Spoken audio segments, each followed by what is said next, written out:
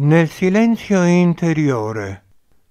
Una voce attraverso Attilio M, voce della quiete.vagliano chiocciola gmail.com. Una voce. Si parla di divenire intendendo un tempo ed uno spazio in cui ogni essere vive in relazione con altri esseri. Voi uomini però ritenete che il luogo dove siete vi appartenga o perché scelto o perché accettato, così come il tempo che vivete e che trasformate in concetto mentale, in modo da potervene servire adattandolo alle vostre esigenze. Nel silenzio interiore tutto appare sacro e non si giudica, non si aggiunge e non si suggerisce più nulla.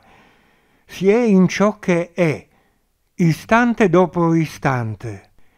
È in questo la morte della mente giudicante ed è la resa dell'uomo alla vita.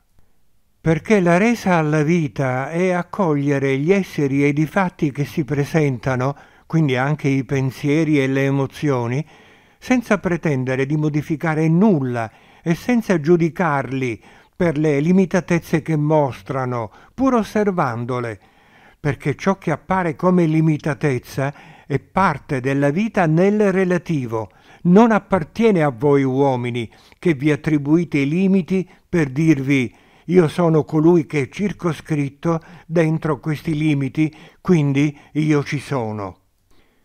Ma non fraintendete queste parole perché noi voci dell'oltre non stiamo invitandovi a rinunciare ad agire, oppure a smetterla di prestare attenzione agli altri, perché non vi parliamo delle azioni che fanno parte della concretezza del quotidiano, ma vi stiamo solo invitando a non aggiungere nulla di voi a ciò che c'è e ad accogliere gli altri senza la pretesa di modificarli.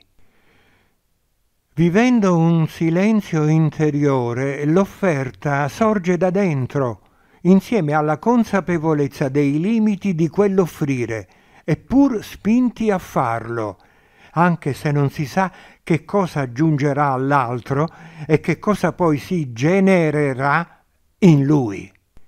Si sa solo di non essere gli artefici né del togliere e né dell'aggiungere, e la vita che attraverso quel gesto presenta all'altro la possibilità di comprendere che non c'è nulla da compiere in base al proprio io.